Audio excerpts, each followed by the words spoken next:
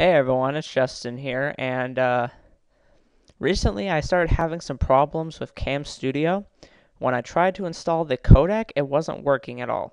So I was kind of spacing. I was like, well, I know Cam Studio has one of the best codecs there is out there besides, I don't know, people say like Xvid or whatever it is is really good, but I've never used it because I don't, I don't know why.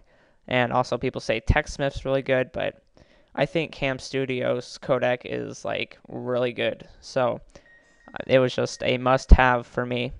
And I tried over and over and over and it would not work. And I'm using a Windows 7 and I know Vista has problems with this too, so it must be something they changed, I guess. But anyways, I went and looked it up and I kept looking and looking and looking and finally I figured out the problem. And uh, what what happened was Cam Studio, their uh, they changed um, what they were doing with their older where you were downloading their files from. Because originally they were all all going their site and you would just download it from there but then they started doing it through source sourceforge and all the files got screwed up. One of the files that they needed which is the codec uh, that works on the on our, our computers like windows 7 vista.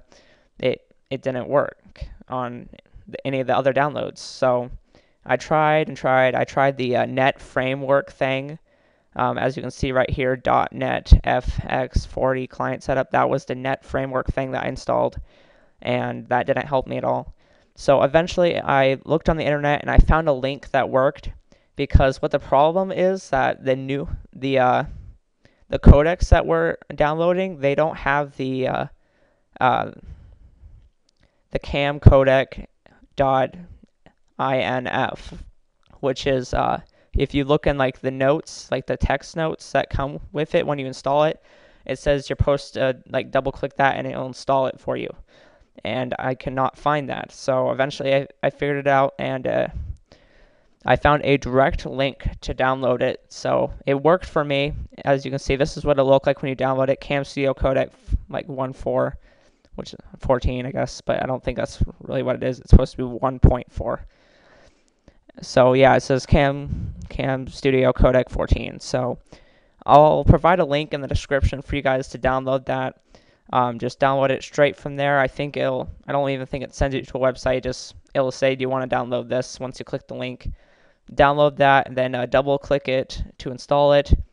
Install it, and it'll it should work for you it worked for me and I, I was like so excited because I've been trying and it was not working for me. So yeah guys I'd like to thank you guys for watching and uh, I'll see you guys in the next video